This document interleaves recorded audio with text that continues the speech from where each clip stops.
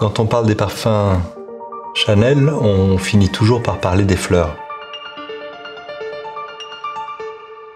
La tubéreuse est une fleur qu'on cultive nous-mêmes à Grasse.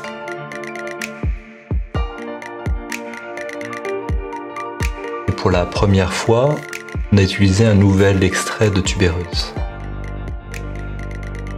Et on a donc euh, créé ce nouvel extrait né d'un procédé inédit qui permet à la fleur de révéler toute sa complexité et sa naturalité.